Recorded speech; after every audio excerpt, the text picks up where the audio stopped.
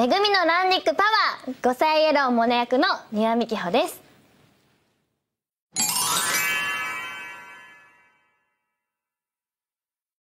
私は演技のオーディションが初めてだったので初めてに近かったので、うん、最初マネージャーさんにあの今回一時で書類のあの戦隊のオーディションが一時通過したよって聞いた時に本当びっくりして自分がまさかそういうヒーローのオーディションを受けると思ってなかったのでびっくりしたんですけどそれで2時3時ともう最終審査まであの、う、行ってなんかずっとなんかまさか自分が本当ずっとそのオーディションに受かると思ってなかったのですごい嬉しかったですね。聞いた時はあの事務所の方に内緒にずっとされていて受かったことをでサプライズでその事務所に行った時にこの五世イエローに決まったよってことを聞いたのでその時はなんかすごいなんか本当に手が震えたというかすぐお母さんに電話してなんかもう高校の合格発表以来ですねこんなにびっくりしてもうお母さんにすぐ連絡したのは。周りのいなんだろうとにかくあのなんかみんな本当に喜んでくれてもともとテレビはあんまり出たことがなかったのでそのミキホがテレビに出るってことでなんかもう私は地元が名古屋なんですけどそれで大盛り上がりでしたね本当に。はい。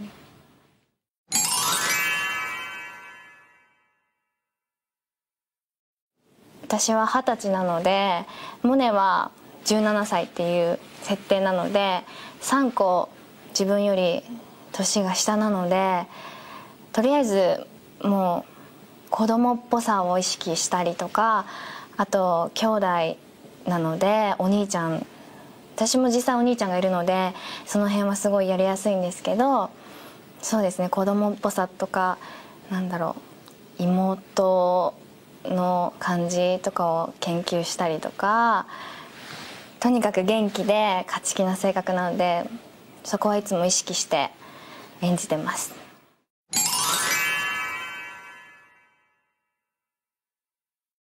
同じところだなと思うのは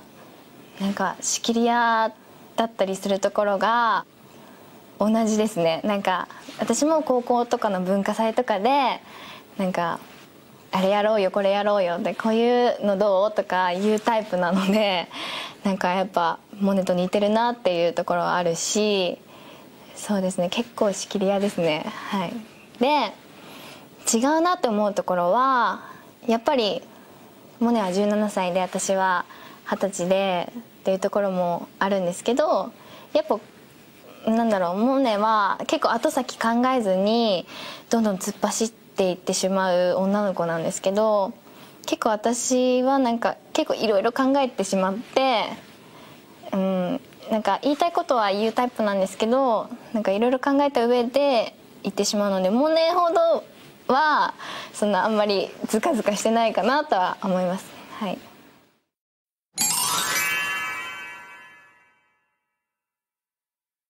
兄弟同士のクランクインだったんですけどそうですねなんかもう初めてすぎて何もかもが。そのもう本当スタッフさんも職人さんが多いのでカメラマンさんがすごいなんかもうカメラマンさんってこんなに指導してくれるんだってぐらいうわーって言われて本当にアグリのアグリ役の、えー、浜君となんだかもう泣きそうになるぐらいもうすごい精一杯ででも今見るとなんか恥ずかしいというか半年経って恥ずかしいなって思いますね。でもすごいいい経験でした、はい、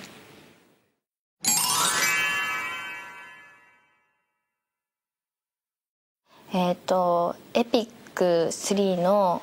そのランディックパワー分裂っていう話があるんですけど初めて一人ロケに行ったなんかとこで雪のシーンがあってそれでモネが一人で戦いに行くっていうとこで私も一人にロケに行くっていうなんかそれがすごいリンクされてて自分の中で。でなんかすごいなんだろうその気持ちもなんか重なっててすごい寂しいけど頑張らなきゃみたいな。そのプレッシャーすごいプレッシャーもあったんですけどその良い意味ですごい引き締まったというかエピック3は。本当になんか雪も本当本物の雪を扇風機3台ぐらい使ってわーってやるんですけどなんかそれでもすごい、うん、冷たくてすごい目が開けれない状態とかになったんですけどだからでもいざオンエア見るとすっごいなんかモネらしさが出てって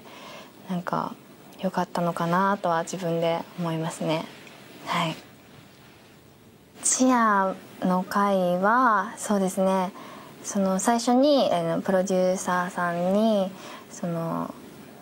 私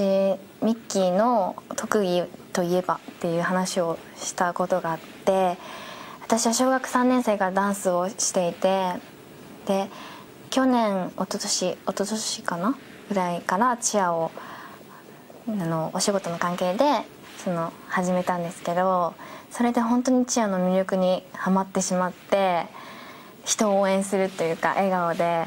するっていうのが。でもそれはなんかちょっとモネにも合うなとはちょっと思ったんですけどでそれをなんかお話でやれたらチアやりたいですねっていうお話をしてでそのお話が終わって台本渡された時にモネのチアの会だったのですっごい嬉しかったです。なんかああなんかまたモネっていつもなんかちょっと怒ってたりとかなんかプンプンしてるんですけどなんか初めてスカートを履くモネだったりとかすっごいいろんな一面が見れるやっぱ子供のためにちっちゃい子のためにそのチアを踊って元気づけるというか本当にそうですねモネのモネ一人だけのなんかお話っていうのは初めてだったのでなんかチアのダンスもその周りのチアのメンバーの人と合わせる時間が2時間ちょいぐらいしかなくてなんかすごい不安だったんですけどでも本番はメンバーのみんなもすごい褒めていただき本当に何テイクもしましたがすごいうんチアやれてよかったなって思いますね。はい。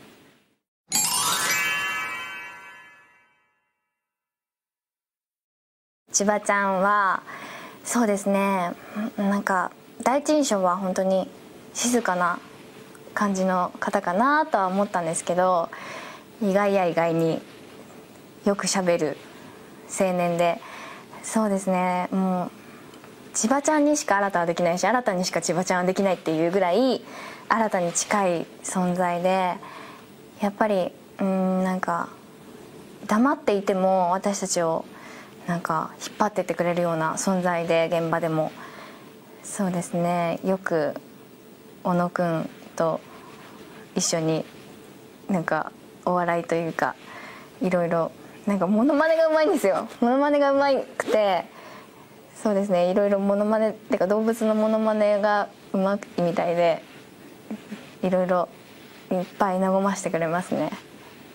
えー、五星ピンクエリ役の佐藤梨香ちゃん梨香ちゃんはそうですねやっぱりオーディションの時点でもう梨香ちゃんを見た時からもうすごい気になる存在だったのでこうやって今一緒にお仕事させていただいてるのが嬉しいんですけど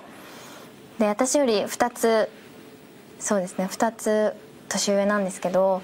とってもなんかなんだろう接しやすくいい意味で親近感があって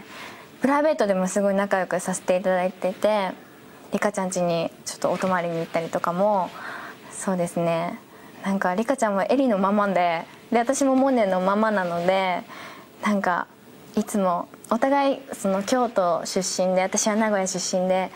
本当西寄りの感じなのでノリとかも。だからいつも2人で爆笑してそうですねもう現場でも「えりもね」って言われるぐらいもうセットでいつも一緒に行動させてもらってます。はい。真央はですねそうですねハンマオで真央ってみんなで呼んでるんですけど あのそうですねやっぱり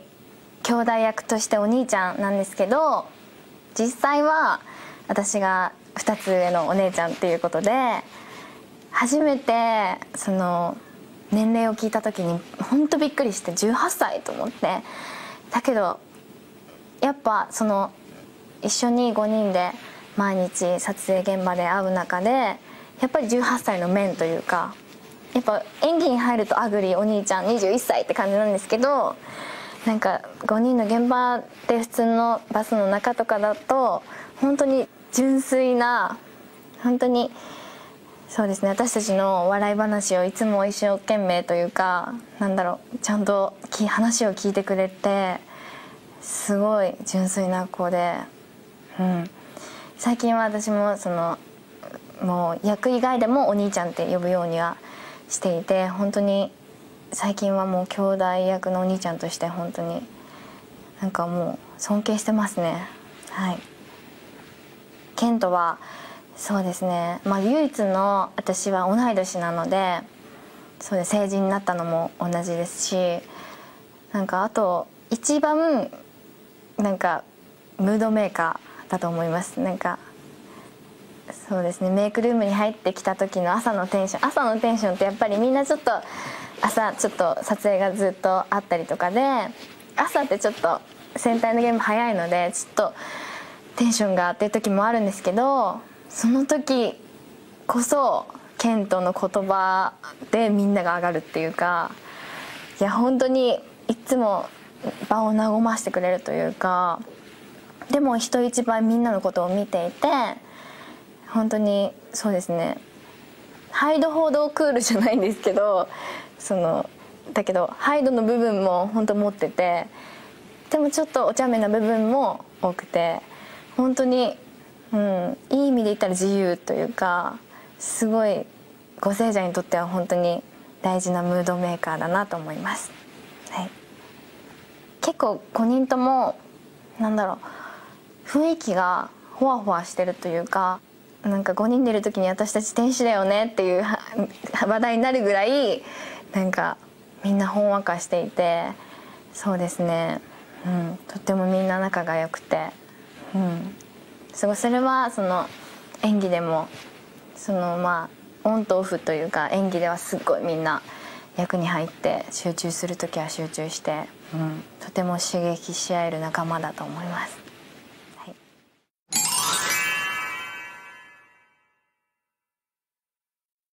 自然体でいることは本当に、うん、大切だなと思います。なんかモネにしても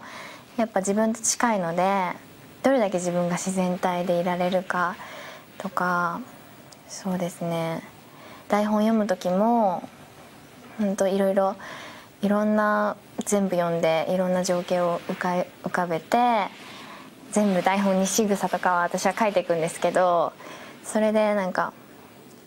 そうですねアドリブとかも入れられたらいいなとかで書いていくんですけどそういうのも楽しいし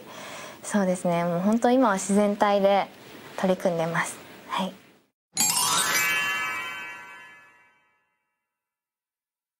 そのリカちゃんとやった「五世ガールズ」ガチャ五世ガールズっていうえりもねえりもね会って呼んでるんですけど私たちは。そのえりもね会はすごい楽しかったので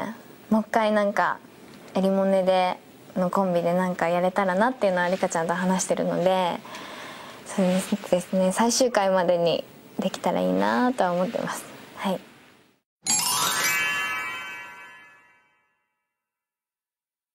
転送戦隊ゴセージャーの DVD を見てくださってありがとうございます。モネです、えー、そうですね。あの転送戦隊ゴセージャーを見てあの庭見記法を知ってくれた方もたくさんいると思うんですけど、えー、どんどんどんどんまだご聖者は続きますのでモネとしても、えー、私自身としてもどんどん成長していけたらなと思います。これからも応援よろしくお願いします。モネでした。バイバーイ。